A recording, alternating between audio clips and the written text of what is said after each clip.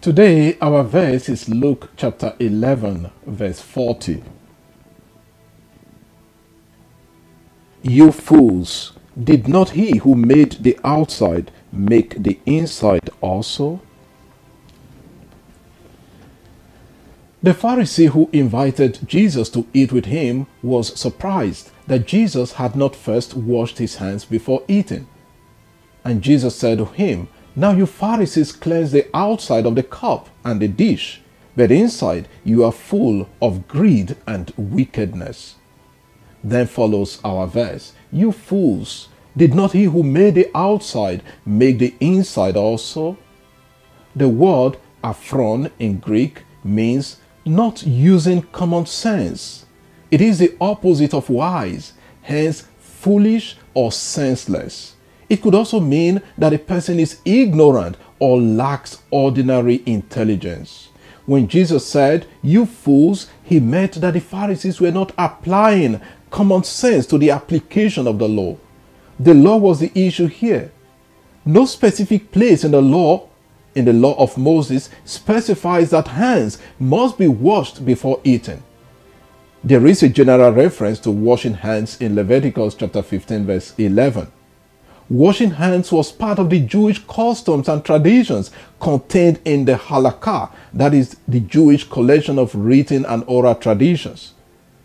Pharisees acknowledge that the washing of hands is based on the tradition of the elders, if you read Matthew 15, verse 2. Therefore, it is not binding by law.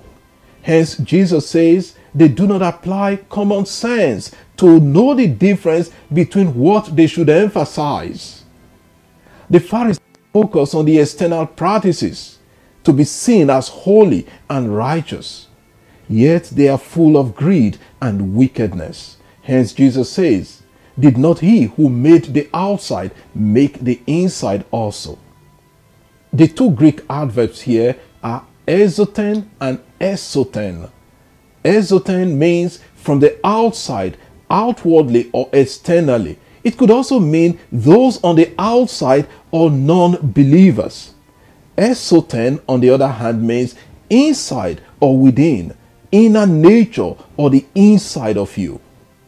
Jesus wants the Pharisees to emphasize the inner nature because, as Jesus says in another place, it is from the heart, the inner person, that evil actions proceed.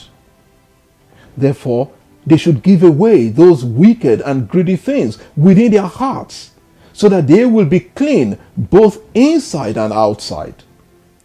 On another level, the Pharisees condemn people who do not follow their practices and treat those people as unbelievers.